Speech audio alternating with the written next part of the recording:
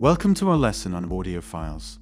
Here we'll learn about how computers store audio, the properties of digital audio files, as well as the different file formats commonly used. Let's dive in. Sound waves, like ocean waves, have peaks and troughs. The bigger the wave, the louder the sound. We call this amplitude. To store sound digitally, an analog to digital converter changes analog sound into numerical data.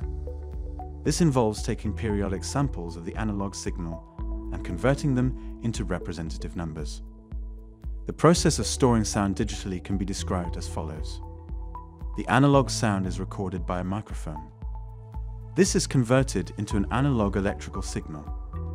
The amplitude is measured at regular intervals. This process is called sampling. The values are rounded to whole numbers. This is called quantization. Finally, these values are stored as binary numbers. Let's now talk about the properties of audio files.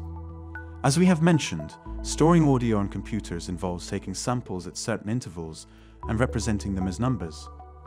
The frequency of these samples and the precision used to record them affect the quality and file size of the final audio recording. The number of samples taken per second when digitally recording audio is called a sample rate, measured in hertz. The higher the sample rate, the closer the recorded sample can get to the original sound. However, more samples mean more data, leading to a larger file size. A typical sample rate for music recordings is 44,100 Hz. Each sample represents the wave's height as a number. The number of bits used to record this sample number is called the bit depth or sample resolution. Using more bits per sample allows for a greater range of numbers and higher precision.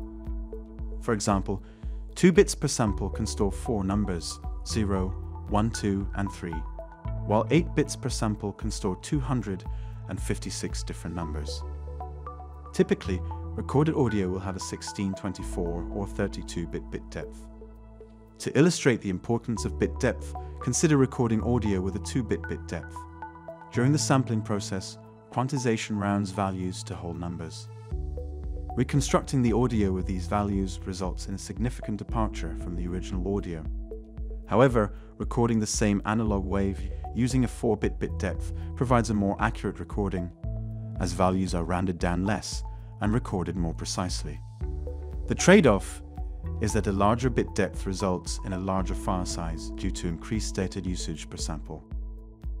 When storing audio data, there are various file formats we can choose, with each serving different purposes and affecting file size and audio quality. MP3 is a lossy compressed format, popular for streaming and storing music on mobile devices. AAC is an Apple-specific equivalent. Both offer small file sizes but lower audio quality. Ogg Vorbis is another lossy compressed format used for streaming, like Spotify.